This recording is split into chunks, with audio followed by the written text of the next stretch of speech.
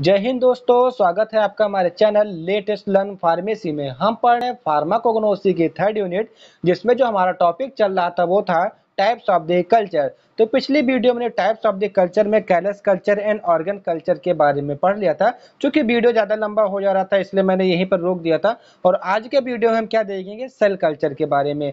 Cell culture में हमको देखना क्या है? Single cell culture plast culture के बारे में।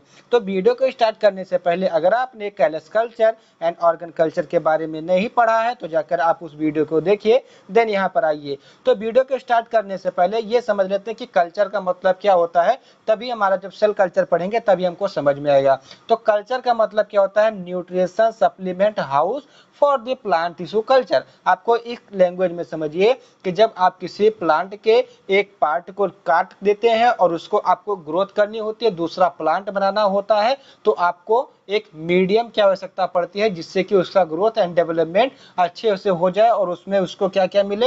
हार्मोन्स मिल जाए वाइटमिन मिल जाए ग्रोथ रेगुलेटर्स मिल जाए ऑजिस मिल जाए जिब्रालिस मिल जाए ई न्यूट्रिशन रिक्वायरमेंट को वहाँ पे मिल जाए, जिसके कारण वो अपना एक टिश्यू से लेकर के मतलब एक प्लांट के एक टिश्यू को आप जर्मिनेट करेंगे तो आपको एक बड़ा सा पेड़ बना के दे देगा। तो उसी को कहते हैं कल्चर जैसे हम अपने घर में रहते हैं तो हमारे घर हमारे लिए क्या है? कल्चर हमको यहाँ पर सोने से लेकर खाने तक की सारी सुविधाएँ मिलती हैं तो ये हमारा क्या हो गया? ह्यूमन कल्चर हो गया, ठीक है?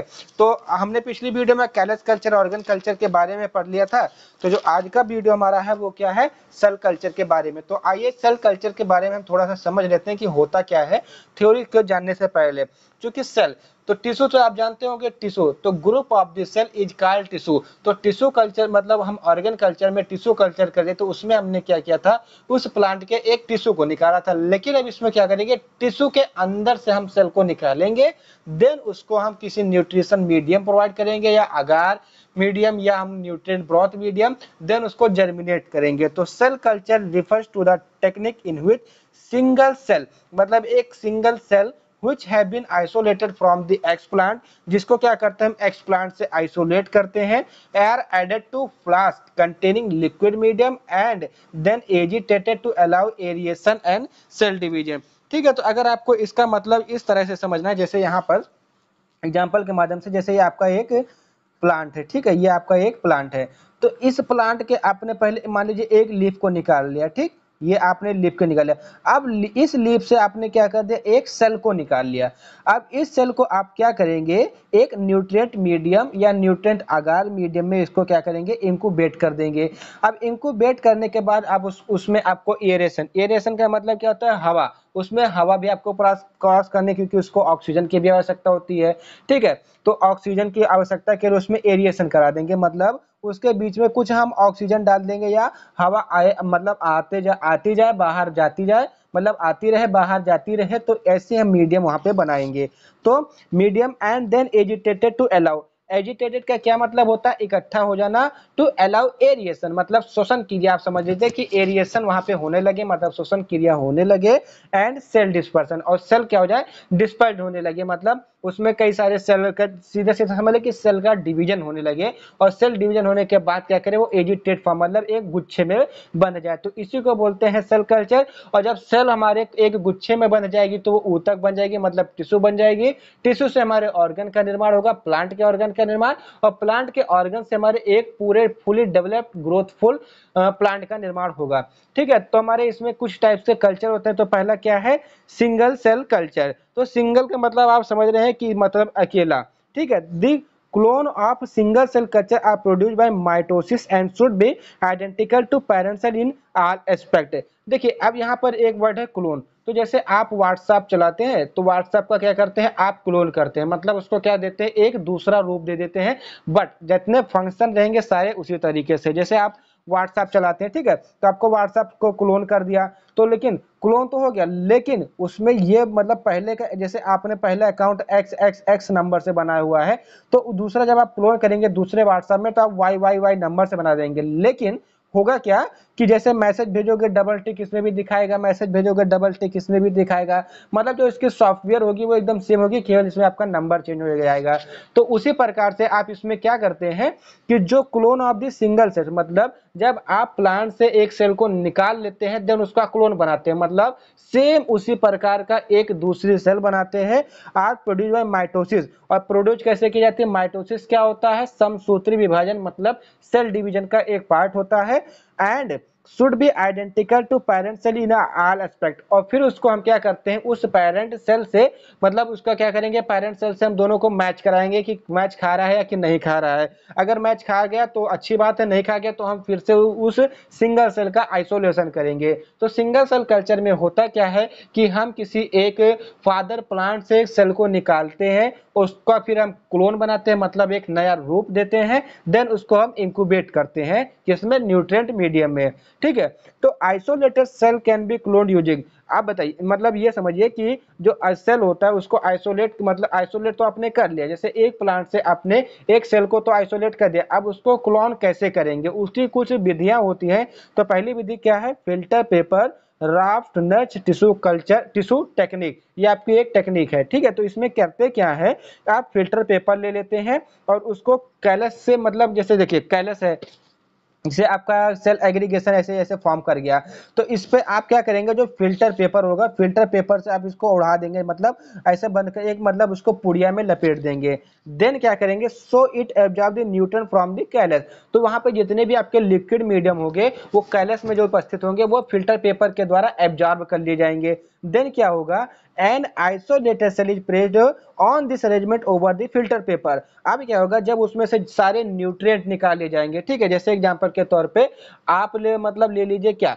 चना ले लीजिए या कोई भी मतलब कोई भी पदार्थ ले लीजिए, उसको आप भिगो, जैसे किशमिश ले लीजिए। तो किशमिश आपने रात को भिगो दिया, उसके बाद आप फिर सुबह उसको उठे और उसको फ़िल्टर पेपर से मतलब दोनों जैसे फ़िल्टर ये आपका फ़िल्टर पेपर है, यहाँ पर आपने किशमिश रख दिया और आप ऐसे पकड़ के ऐसे उसको दबा देंगे। दबाने के बाद क्या होगा कि जितने भी उसमें लिक्विड मीडियम होंगे, वो फ़िल्टर पेपर के द्वारा एब्जॉर्ब कर लिया जाएगा और जो आपकी सूखी किशमिश होगी, वो आपको मतलब मिल जाएगी। तो यहाँ पर आप क्या करती है, उस सेल का क्लोन कर दिया। मतलब उस सेल का आपने क्लोन कर दिया, उसी उसी टाइप के आपने दूसरी सेल यहाँ पे बना ली और वो सेल आपको किस पे? फ़िल्टर पेपर पे मिल जाएगी। ठीक है? The callus indirectly supplied the nutrient to the cell which undergoes cell division और जो कैलस होता है, वो क्या करता है, उस सेल को इनडायरेक्टली मतलब न्यूट्रिशन सप्लाई करता रहता है, जिसके कारण से उसमें सेल डिवीज़न होती रहती है। ठीक है? अब आते हैं टाइप्स ऑफ़ सेल कल्चर में। तो टाइप्स ऑफ़ सेल कल्चर में हमारे पहला क्या है? सस्पेंशन कल्चर तो सस्पेंशन का मतलब आप समझ रहे हैं कि उसमें कुछ सस्पेंडेड पार्टिकल हो गए the isolated cell grown in suspension culture मतलब जो आपने प्लांट से सेल को आइसोलेट किया है, उसको आप सस्पेंशन कल्चर में कैसे ग्रोथ करेंगे, ये पढ़ते हैं इसमें, ठीक है? Suspension culture is a type of culture in which जिसमें होता क्या है सिंगल सेल और एग्रीगेट ऑफ़ द सेल मतलब या तो उसमें सिंगल सेल होगा या सेल्स के गुच्छे होंगे मल्टीप्लाई इन लिक्विड मीडियम वो क्या करते हैं लिक्विड मीडियम जैसे न्यूट्रिएंट ब्रॉथ हो गया। तो क्या करेंगे न्यूट्रन ब्रॉथ में अपना सेल डिवीज़न करेंगे और मल्टीप्लाई करते चले जाएँगे। और एक सेल से आप क्या करेंगे, दो से, दो सेल दो से चार चार से छः छः से मतलब बारह बारह से चौबीस, इसी तरह से वो क्या करेंगे एग्रीगेट फॉर्म कर ले जाएँगे और ऊतक का निर्माण कर देंगे। टिश्यू का निर्माण होने के बाद वो ऑर्गन का निर्माण करेंगे देन प्लांट का निर्माण कर लेंगे तो सस्पेंशन कल्चर हमारे दो टाइप के होते हैं, एक बैच कल्चर होता है, एक कॉन्टिन्यूस कल्चर होता है। ठीक है?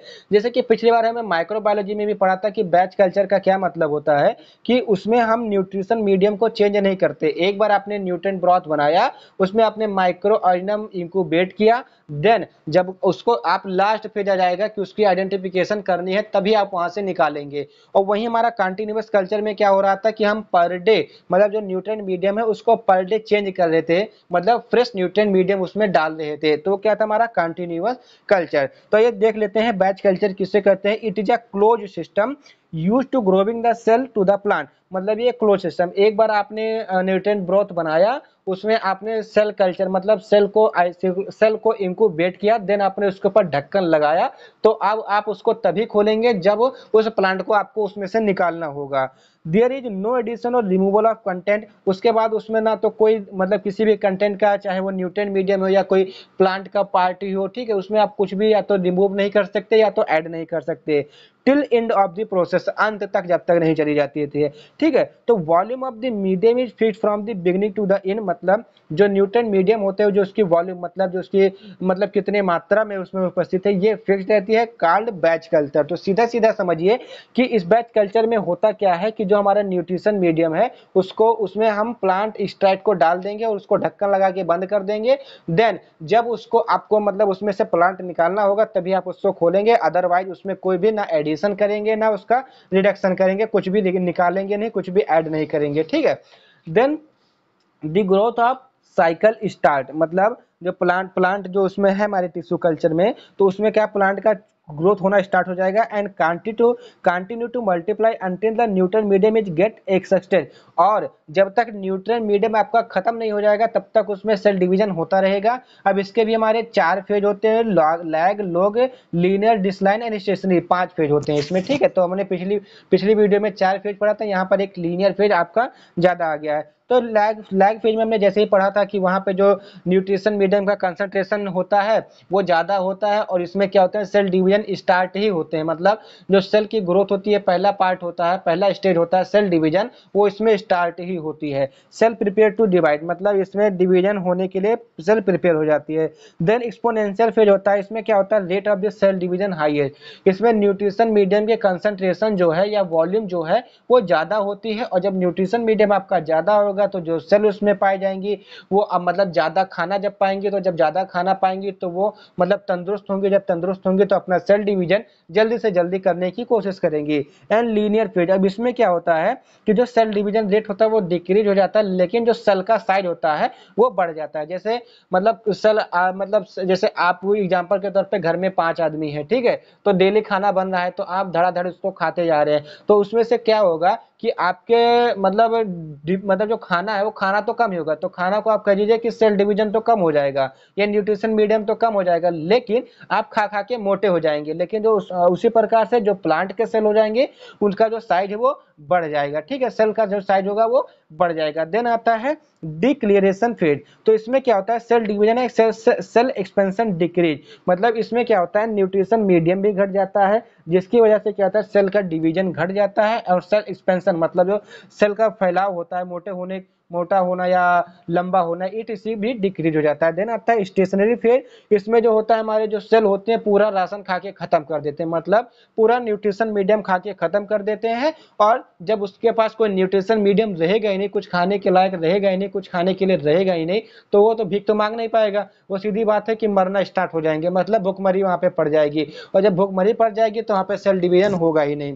ठीक है? देन जो हमारा क्या है? कंटिन्यूस कल्चर अब कॉन्टिन्यूस कल्चर को आप सीधा ये समझिए कि इसमें आप पर डे जैसे आप रात मतलब सुबह उठते हैं तो योगा करने से लेकर स्नान करते हैं और रात को फिर सो जाते हैं। फिर सुबह उठते हैं तो आप क्या करते हैं? योगा करते हैं, फिर स्नान करते हैं। मतलब इस डेली आप फ्रेश होते रहेंगे। इसी प्रकार से इस कॉन्टिन्यूस कल्चर में क्या होता है कि जो न्यूट्रिशन मीडियम होता है, उसको आप डेली बाय डेली चेंज करते रहते हैं। In continuous culture the media change with time to time for maximum cell division मतलब इसमें जो सेल डिवीज़न होता है, उसको मैक्सिमम प्राप्त करने के लिए जो इसका न्यूट्रिशन मीडियम होता है, आप उसको डेली चेंज करते रहते हैं time to time the fresh culture added to a certain time मतलब नया सेल कल्चर जो होगा फ्रेश मतलब फ्रेश होगा, ताज़ा होगा, उसको आप टाइम टू टाइम उसमें ऐड नहीं मतलब उसको मतलब पुराने वाले को बाहर निकालते रहेंगे और नए वाले को आप उसमें डालते रहेंगे, ठीक है? तो continuous cultures are carried in large scale using bioreactors मतलब जो कंटिन्यूस सेल कल्चर होते हैं, वो लार्ज स्केल पे यूज़ किए जाते हैं, जैसे बायोरिएक्टर्स। ठीक है, उसके बाद आता है प्रोटोप्लास्ट कल्चर। तो प्रोटोप्लास्ट का मतलब आप समझ ही रहे हैं कि जो प्लांट के सेल होते हैं, उनको हम क्या कहते हैं? प्रोटोप्लास्ट कहते हैं। तो protoplast contain plasma membrane and other component लेकिन इसमें क्या होता है? जो सेल वाल होता है, उससे कमी होती है। अब जब सेल वाल की उसमें जब कमी हो जाती है तो जब उसका सेल डिवीज़न होगा तो उसमें जब वाल पाई नहीं जाएगी तो क्या वो सेल अपने न्यूक्लियस को अलग अलग कर पाएगा? नहीं कर पाएगा। तो इसमें भी कुछ कंडीशंस होती है कि कैसे अलग करते हैं मतलब इस, इसको हमने बॉटनी में भी ऑलरेडी पढ़ चुके हैं ठीक है? तो हमको सीधा समझना है कि प्रोटोप्लास्ट का यूज़ करके उस प्लांट को हम फिर से कैसे जर्मिनेट करेंगे। तो protoplast can be cultured after their isolation by enzymatic degradation of the cell wall मतलब जब आप उस प्लांट के प्रोटो, प्रोटोप्लास्ट को एंजाइमेटिक एंजाइमेटिक रिएक्शन से उसकी सेल वाल को आप डिग्रेड कर देते हैं देन उसका आप क्या करते हैं, फिर से आइसोलेशन करते हैं। जैसे एग्जांपल के तौर पे ये पूरा प्रोसीजर मैंने यहाँ पे समझाया हुआ है, देखिए किस तरह से ये आपकी एक लीफ है। ठीक है, प्रोटोप्लास्ट इसमें है। तो आप क्या करेंगे, इसमें से इपीडर्मिस आपने आउट कर दिया मतलब निकाल दिया। तो जैसे आपका हैंड है, आपने हैंड से अपने एपिडर्मिस निकाल दिया तो आपकी खाल दिखने लगेगी, अंदर के जो सेल्स होंगे। तो क्या होगा सेगमेंट ऑफ़ फ़ील्ड लिप और क्या उसमें सेगमेंट देखने लगेंगे, कुछ इस टाइप से मतलब उसके अंदर सेल दिखने लगेंगे। देन इसमें से आप एक को चूज़ कर लेंगे। देन उसको जब आप चूज़ कर लेंगे तो क्या हो जाएगा? प्लाज्मोलाइट सेल हो जाएगा। ये आपका क्या हो जाएगा? प्लाज्मोलाइट सेल उसी के अंदर ये क्या हमारा न्यूक्लियस है। अब इसके, इससे आप क्या कर देंगे? प्रोटोप्लास्ट को अलग कर देंगे। मतलब इस सेल से आप प्रोटोप्लास्ट को मतलब ये आपका ये वाला सेल है तो इससे आप ये जो प्रोटोप्लास्ट इसमें है, उसको अलग कर देंगे तो आपको ये प्रोटोप्लास्ट इस तरह से मिल जाएगा। देन इस प्रोटोप्लास्ट का फिल्ट्रेशन करेंगे एंड प्यूरिफिकेशन करेंगे। मतलब फिल्ट्रेशन करेंगे, इसमें भी जो भी हमारे अदर मटेरियल होंगे, उसको आउट कर देंगे। ठीक है? देन इसको प्यूरिफिकेशन करेंगे। मतलब इसका स्टेरिलाइजेशन करेंगे। अगर इसमें कोई भी किसी प्रकार का कॉन्टामिनेशन है तो उसको आप दूर करेंगे। देन क्या करेंगे? प्यूरिफाइड प्रो, प्रोटोप्लास्ट आपको यहाँ पे मिल गया। ठीक है मतलब फिल्ट्रेशन के द्वारा इसका प्यूरिफिकेशन किया और प्यूरिफिकेशन के द्वारा जो प्रोटोप्लास्ट है आपको एकदम प्यूरिफाइड फॉर्म में मिल गया। देन आप इसकी प्लांटिंग करेंगे। अब प्लांटिंग करते कहाँ पर है हम? टिश्यू कल्चर में। मतलब जो न्यूट्रिशन मीडियम होगा चाहे न्यूट्रेंट अगार होगा या न्यूट्रेंट ग्रोथ होगा उसमें उसकी प्लांटिंग कर दी जाएगी। जैसे आपका ये मान लीजिए न्यूट्रेंट अगार की पेट्री डिस्क है, इसमें आपके न्यूट्रेंट अगार भरे हुए हैं, ठीक है? ऐसे ऐसे न्यूट्रेंट अगार भरे हुए हैं। देन आप क्या करेंगे? जो ये आपका प्रोटोप्लास्ट है, इसको क्या कर देंगे? आप यहाँ पे प्लांट कर देंगे मतलब इंक्यूबेट कर देंगे, ठीक है? देन इसमें क्या होगा? फिर से रीजनरेशन होने लगेगा सेलवाल का। सेलवाल का जब रीजनरेशन होगा तो क्लम्प ऑफ़ द सेल मतलब जो एग्रीगेशन फॉर्म हो जाएगा मतलब जो सेल होंगे वो कई सारे सेल बन जाएँगे सेल डिवीज़न करके वो कई सारे सेल बन जाएँगे तो क्लम्प मतलब गुच्छा बना लेंगे सेल का। देन क्या कर देंगे वो कैलस का निर्माण कर लेंगे। कैलस मतलब एक मतलब एग्रीगेशन मतलब जो सेल है, ये सेल आपस में मिल जाएँगे, ऐसे ऐसे आपस में मिल जाएँगे और एक ट्यूमर आकार बना देंगे। तो उसको बोलते हैं कैलस देन आप क्या करेंगे, उसको एक मतलब जब कैलस बन जाएगा फिर उसको आप न्यूट्रिशन मीडियम चेंज कर देंगे और फिर आप कुछ समय के बाद देखेंगे कि उसमें प्लांट का रीजनरेशन होने लगा। मतलब आपको फिर से वो प्लांट मतलब एक पत्ती से आपने इतनी सारी प्रोसेस करके फिर से एक प्लांट बना दिया। तो कौन कहता है कि पत्तियों से या सीड से या मतलब पत्तियों से प्लांट को नहीं उगाया जा सकता, लकड़ी से प्लांट को नहीं उगाया जा हो सकता है। आज के टेक्नोलॉजी में सब कुछ संभव है। ठीक है? Then importance of the protoplast culture मतलब प्रोटोप्लास्ट के कल्चर के कौन कौन से इंपॉर्टेंस हो सकते हैं? जैसे an entire plant can be regenerated using protoplast culture मतलब एक पूरा पेड़ मतलब एक पूरा प्लांट आप रीजनरेट कर सकते हैं किसके सहायता से? प्रोटोप्लास्ट की सहायता से। जैसे आपके अंदर न्यूक्लियस पाया जाता है, उसी प्रकार से प्रोटोप्लास्ट से। तो न्यूक्लियस की सहायता से आप डीएनए चेकिंग करके बता देते हैं, उसी प्रकार से उसका डीएनए ही मान सकते हैं आप। तो protoplast fusion result in production of hybrid मतलब जो प्रोटोप्लास्ट का फ्यूजन होता है वो हाइब्रिड हाइब्रिड का मतलब क्या होता है? संकरण. जैसे हाइब्रिड जैसे कहते हैं कि ये हाइब्रिड बिया है, ये हाइब्रिड बीज है तो उसी प्रकार से हाइब्रिड प्रोडक्शन करेंगे. And protoplast can be easily use for single cell cloning मतलब जो प्रोटोप्लास्ट होता है सिंगल सेल क्लोनिंग क्लोनिंग का मतलब क्या होता है? जैसे व्हाट्सएप का आप क्लोन करते हैं मतलब फ़ंक्शन सेम रहेगा, बस नंबर आपका चेंज रहेगा, उसी प्रकार से सेल आपका सेम रहेगा, बस उसके कुछ चेंजेस होंगे वहाँ पे. ठीक है? तो आई होप आपको वीडियो समझ में आया होगा। अगर वीडियो आपको समझ में आया हो तो चैनल को सब्सक्राइब कीजिए, वीडियो को लाइक कीजिए एंड कमेंट करके हमको ज़रूर बताइएगा कि आपको वीडियो कैसा लगा। Thank you for watching the video मिलते हैं नेक्स्ट वीडियो में। Application of the plant tissue culture in pharmacognosy and उसके बाद जब हमारा आएगा वैक्सीनेशन के ऊपर वीडियो आएगा तो ये थर्ड यूनिट हो जाएगी समाप्त। देन हो सकेगा तो हम ऑर्गेनिक केमिस्ट्री स्टार्ट कर देंगे। तो again thank you for watching the video please subscribe my channel and promote my channel okay